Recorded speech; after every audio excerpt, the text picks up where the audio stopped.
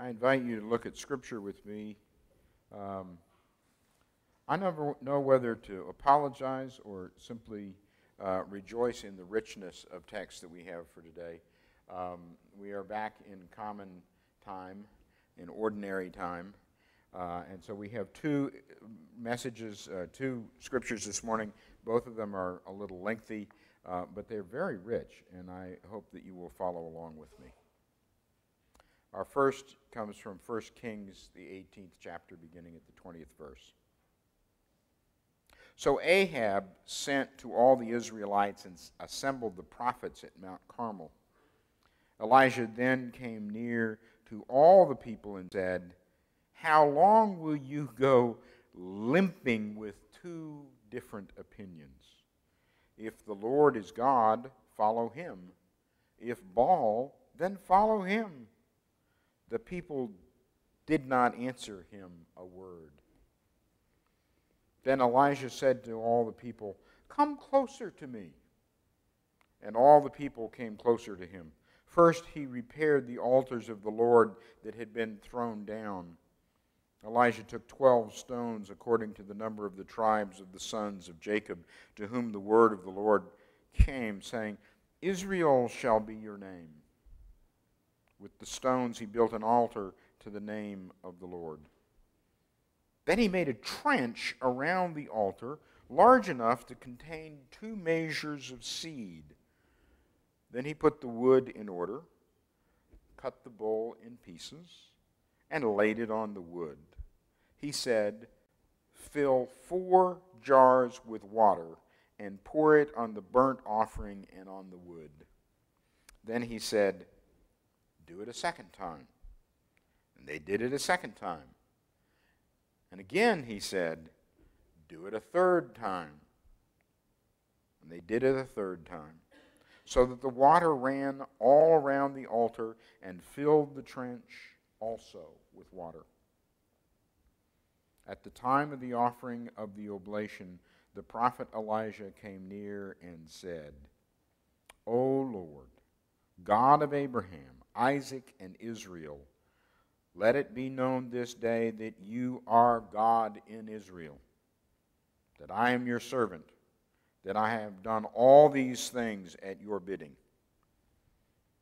Answer me, O Lord, answer me, so that this people may know that you, O Lord, are God, and you have turned their hearts back. Then the fire of the Lord fell and consumed the burnt offerings, the wood, the stones, and the dust, and even licked up the water that was in the trench. When all the people saw it, they fell on their faces and said, The Lord indeed is God. The Lord indeed is God. Our second reading is from Luke, the seventh chapter, beginning at the first verse. After Jesus had ended all his sayings in the hearing of the people, he entered Capernaum. Now a centurion had a slave who was dear to him, who was sick and at the point of death. After hearing about Jesus, the centurion sent elders of the Jews to ask Jesus to come and heal his slave. when they came to Jesus, they begged earnestly, saying, the centurion is worthy to have you do this for him, for he loves our nation and built us our synagogue. Jesus went with them. When he was not far from the house, the centurion sent friends to him, saying, O Lord, do not trouble yourself, for I am not worthy to have you come under my roof. Therefore I did not presume to come to you. But say the word, and let my servant be healed. For I am a man set under authority, with soldiers under me. And I say to one, Go, and he goes, and another, Come, and he comes. And to my slave, Do this, and the slave does it. When Jesus heard this, he marveled at the centurion and turned and said to the multitude that followed, I tell you, not even in Israel have I found such faith. When those who had been sent returned to the house, they found the slave well. Excuse me. The word of the Lord for the people of God. These are two great stories, and the lectionary leaves out the, the really neat part in the, in the Elijah story about that Elijah um, goes up to the mountain and they have this contest about whose God is real, whose God is the most powerful. And so he invites all the prophets of Baal up to the mountain, and they're going to have this contest of who can, can get their offering to God to burn first.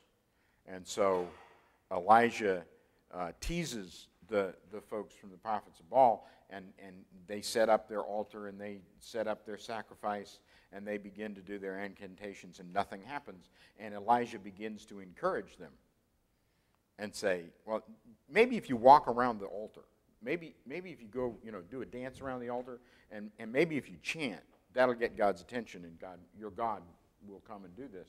And, and he keeps egging them on, and then that's when the second piece that, that Elijah really intends to humiliate them because he has essentially drowned the altar of Yahweh on this mountain to demonstrate that even the drowned altar can be set afire by the power of God.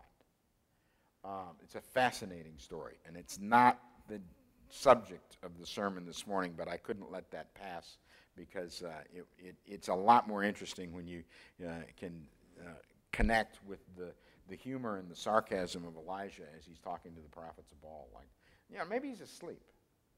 Maybe if you chant, he'll wake him up. You know, he's maybe he's just not paying attention. Uh, maybe he's on his cell phone. Uh, you can you can get his attention. Um, this piece in Luke, however, I think really has a lot more connection and a lot more power for us in our lives today.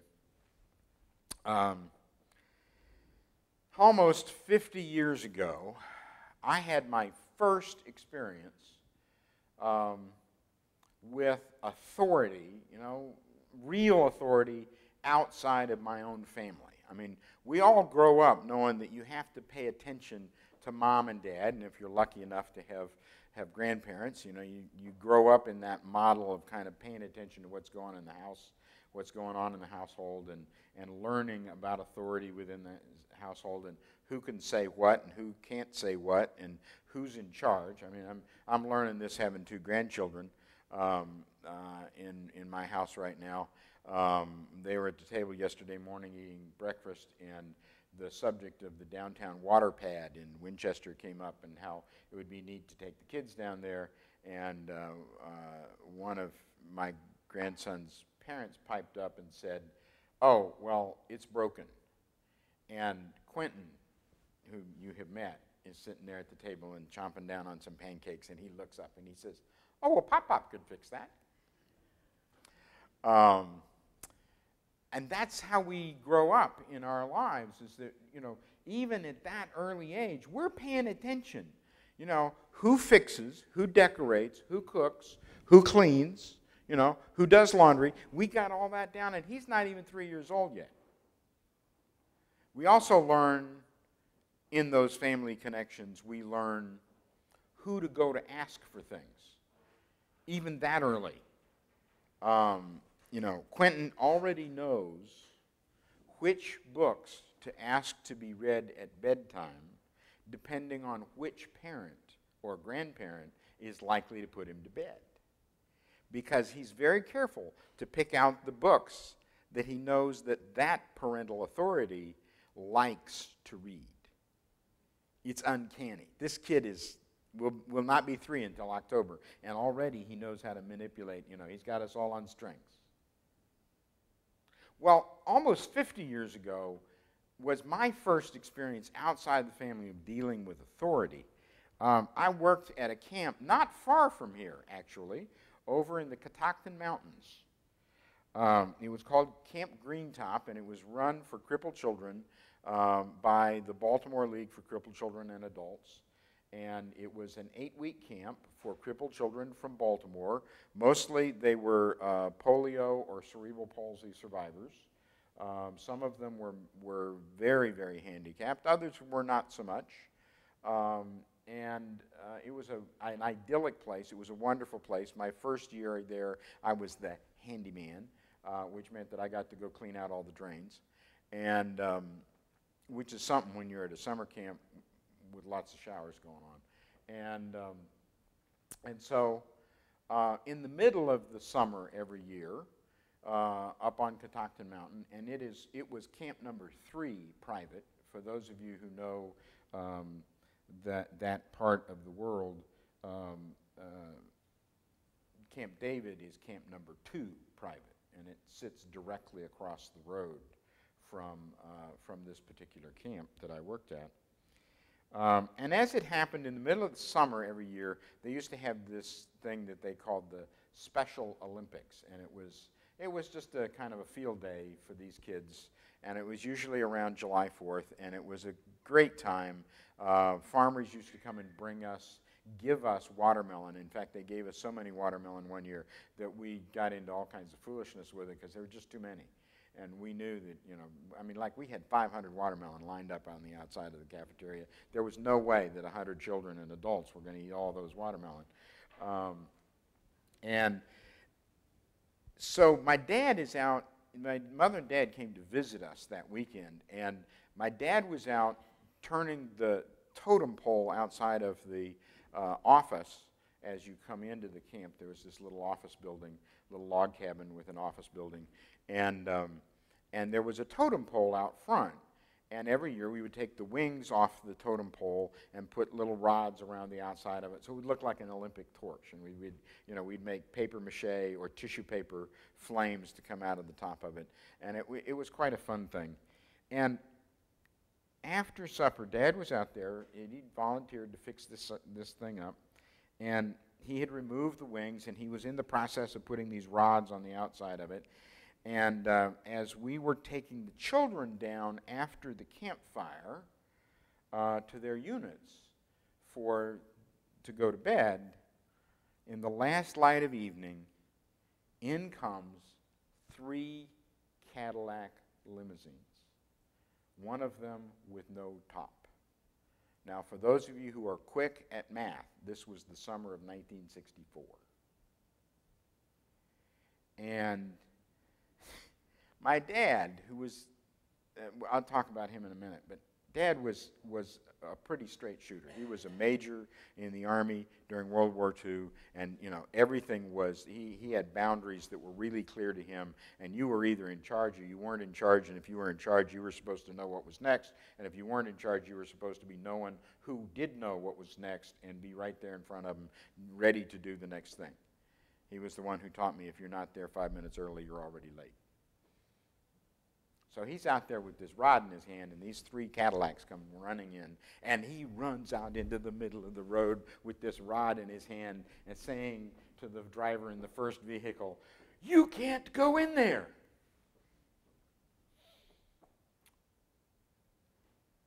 And of course, you know what happens next. A half a dozen Secret Service men are jumping out of the following vehicle with their guns drawn, taking a bead on my father with his pine rod, like he's going to kill President Johnson with that, right? And it just, the president had decided it was a nice night. Uh, he'd never seen any of the other camps. He'd heard about this, this uh, uh, handicap camp, and he thought he would take his dog over and show it to the children. So he was going, but the roads in this camp are so narrow that, you know, my dad's concern was you got 100 handicapped children on these very narrow, sparsely paved roads going down into this camp and it's dark and you can't see anything. That's a, that's a real prescription. Well, Dad got out in front of this car, and just as he looked up into the back seat of the first car that had no top on it, he realized what was going on, and he did the very best imitation of a picador in a, in a Madrid um, uh, bullfight and goes, Of course, Mr. President, it's your camp. Dad knew about authority. I always think of Dad when I read this passage. because he could see the world through this centurion's eyes. And this centurion is truly, truly interesting and magnificent. Because, like the centurion, my father had been a battery commander with about the same number of men under him as a centurion would have had. And he was in World War II in the Pacific Theater. He was um, in the battle for New, Guinea. And he took 100 men from the 41st Division um, to the Pacific Theater in the worst war that we had ever fought to that point. And he lost one man. Now, for those of you who are interested in the military or experienced with the military, to take 100 men to battle and bring 99 back, that's an achievement. And the reason that they came back was that they all paid attention to what he told them to do about taking care of themselves. And like the centurion, my father was a respecter of authority. He always treated others in public service as though they were his commanding officer. And it didn't matter whether it was a traffic cop or a clerk behind the tax window. It even extended to our life at home. He never went into my mother's kitchen, and it was my mother's kitchen, you have to understand, for something to eat or drink without first getting permission. Most of the time, she would say, Sit down, I'll go get it for you. To which he responded, Yes, ma'am. And though he rarely showed anger in public, he frequently took other people's rudeness simply in stride.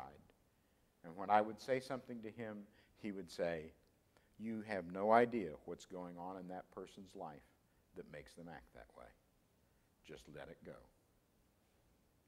The centurion had a slave who was his dear friend. But the slave was sick, even to the point of death. And being reluctant to go himself, he sends a group of Jewish elders to the village to go see Jesus, to ask on his behalf. They go telling Jesus what a fine person this centurion is. And it is extraordinary that you have a Roman soldier who is that well thought of in the Jewish community, who maintaining good boundaries, sees himself separate from the Jewish community, but at the same time a supporter enough to have built them a synagogue. And he says quite deferentially to Jesus, who was not anyone who should have been paid attention to by a Roman soldier. Indeed, we know in the story of the Passion how rudely he is treated by the soldiers. Do not trouble yourself, he tells Jesus. I am not worthy to have you come under my roof. Therefore, I do not presume to even to come to you. But say the word, and my servant will be healed. For I am a man set under authority, with soldiers under me. And I say to one, Go, and he goes, and to another, Come, and he comes, and to my slave, Do this, and he does it. Hearing this, Jesus marveled at him, and turned to him, and said to the multitude that followed him, I tell you, not in Israel have I found such faith. And when those had been sent returned to the house, they found the slave well. The centurion not only knew authority when he saw it, he responded as one who expected God to be God. He could commit his faith when he had only heard about Jesus because he took the good news at face value. Jesus came preaching and teaching, healing the sick, making the blind to see and the lame walk. The centurion opened his life to the power which had come in the good news, not because he accepted a set of doctrines, not because he recited a creed, but because he knew people in authority. He had lived his life and made his living in a service which required expecting people of authority to exercise that power with honesty and in keeping with what they said they would do. That was probably one of the most extraordinary contributions of Roman culture to the modern world was the expectation that the administration of civil authority would be done efficiently, honestly, and by the book. They literally wrote it. The remarkable thing about the centurion is not his faith, but that rather, as an uh, outsider observing the work of God amidst the people of Israel, he can see very plainly what is going on. He doesn't even need to know the scripture foretelling the coming of Jesus because he can look at what's going on and saying, only the power of God can do that. He doesn't need a proof text to prove Jesus is the Messiah. Certainly, it is not clever. It is not that he was clever enough to predict the healing of the power of Jesus when many others had already been healed, but that he correctly perceived the power of God was in Jesus. And it wasn't just a power of magic. This first centurion in Luke's writing acts as a counterpoint to the lack of faith in the people of Israel. While Israel possessed the knowledge of God through the revelation in the Old Testament, this centurion only has his good sense and understanding. And you remember that Luke gives us a second centurion in Acts who acts even more dramatically to open the gospel to the Gentiles. It is this ability to recognize spiritual authority which still gives us anxiety today. Whom should we believe? Which TV preacher do we listen to? What religious publication do we accept as authoritative? How do we make our way through the world?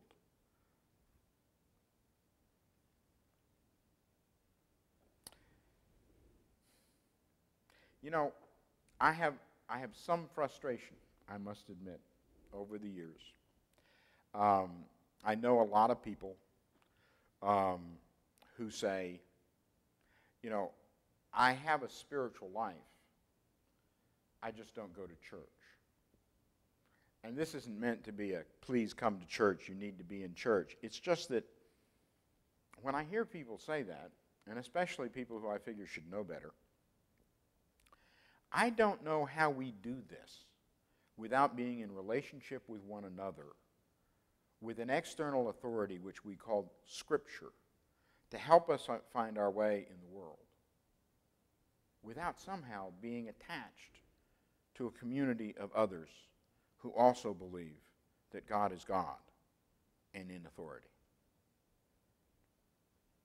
I think it's wonderful to have spiritual feelings, and I have to tell you, I'm, you know, I, I, have begun walking an hour every morning, and I'm feeling better for it. And, and when I can get far enough away from the gas fumes, uh, I'm feeling uh, much better about the world and, and have a, a lower blood pressure and, and a greater sense of God's natural creation. But I have to tell you, as a whole, while nature is wonderful and inspiring and all the rest of that, I can't see how that fills the need to know what God's Word is. Oak trees are nice. They don't point out my sinfulness. Maybe that's why I like to spend time with them, because they're not so rude as to point out where I fall short of the grace of God. For me and for many, and I hope for many of you, Church, being in a fellowship of others, is a spiritual oasis from the erosion and corrosion of what goes on in the rest of our lives. That you can't find on the television or in the hunting lodge or at the racetrack or even in our beds when we're too tired to get up. For the result of not paying attention to our spiritual lives is that over time we lose the ability, like Israel, to recognize the power of God when it comes near to us, just as Israel did in the time of Jesus. We become dulled to the possibility of a spiritual life, and we begin to expect that spiritual renewal comes from something else than being related to God and spending time in Scripture. A ball team, a race car, hunting in the woods. And we're always disappointed when it leaves us tired, drained, and still dissatisfied with our lives. Just as tired Monday morning as Friday afternoon. Well, as my father would have said, what do you expect? What I would say is that it's, first of all, never too late to reconnect with God. It doesn't monopolize our time. And it doesn't necessarily mean that we're going to have some great conversion experience in the midst of it. I have a friend down in Louisiana who, before Katrina, was, as he admits, a cultural Christian. He went to church occasionally. He enjoyed the fellowship of the congregation. But he never really prayed outside of church. He never really engaged in any spiritual discipline of his own. And he never really resorted to God when things were good or bad. As he said, I prayed in church and I depended on my own will and ability the rest of the week. Well, Katrina hit. And as he tells the story, and I can't tell it as well as he does, he says he woke up one day. I had no lights, no air conditioning, a car that needed work, a washing machine that needed repair, and a freezer full of, of melting food and a wife who was very unhappy with all of it. He claims that on the very first day after Katrina, as he was trying to figure out how to get his car started, someone came by the house and was inquiring about whether they could borrow his car to go get some supplies for some neighbors who lived up the road. And he said, There is my car it doesn't work. And they said, That ain't a problem. I'm a car mechanic. So he goes over and he spends about 30 minutes working on the car and he gets the car running. So my friend says, Well, how much owe you?" He says, Nothing. Can we go up here and get some supplies? Will you go with me and help me carry them back? He says, Sure. All the time he's thinking, okay, I prayed to God and said, God, I have no way to go get supplies for my family, and now all of a sudden I'm engaged in the process of getting supplies for the whole community, and my car's fixed. He said after the, air, after the power came back on, his wife was giving him a hard time about not being able to clean any clothes because the washing machine was still in need of repair, and they didn't exactly have enough money to go buy a new one. When there comes another knock on the door, his immediate next door neighbor comes to him and says, I just had Sears deliver a washing machine to my house, uh, and they want to charge me $25 to haul off the old one. Uh, it still works. Do you know anybody who needs it? So my friend says, Yes, sir, I do. Bring it right in here. and I think I can arrange to get rid of my old one. It proceeded like that, and Every day, he said, he began getting up in the morning and he began to pray, not for specific things from God, but just, God, help me make it through this day. Just help me make it through this day. Point me in the right direction. Well, the end of the story is that it's not over. My friend began to work with a group that rebuilt homes in New Orleans after Katrina. And he became so enmeshed in the work of the church and so enthralled with the possibility that out of nothing, literally, whole new communities could emerge, that he decided to go and get trained about how do you talk about this stuff? How do you preach? How do you teach? How do you share the gospel? And now a little church in rural Louisiana has a pastor. Because after Katrina, somebody knocked on the door and asked him to come help. And something within him made him recognize the power of God in that movement in his life. So that now what's funny is that he's a little less available to help with disaster work because he's a whole lot more available to this little congregation of people who need his pastoral care every day. For some people, it takes an accident of a disaster. For others, it takes just a washing machine in very unlikely circumstances. But there's always the opportunity to recognize and be awed by the power of God in our lives if we will be open to what it is we actually see, not what our plan is or what we'd like to see done, but offer our hopes and dreams and visions to God and then see how they are